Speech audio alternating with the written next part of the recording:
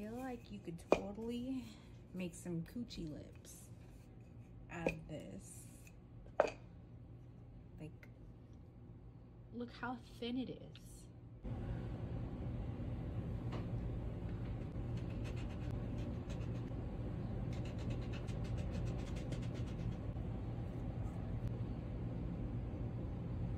Her little nipple.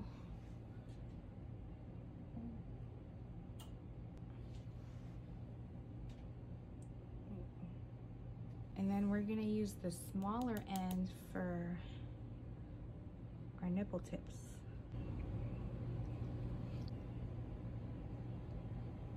This looks really good.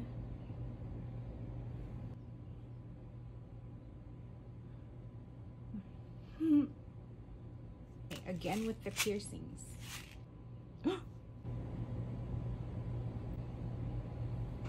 Okay, so I got the piercings on.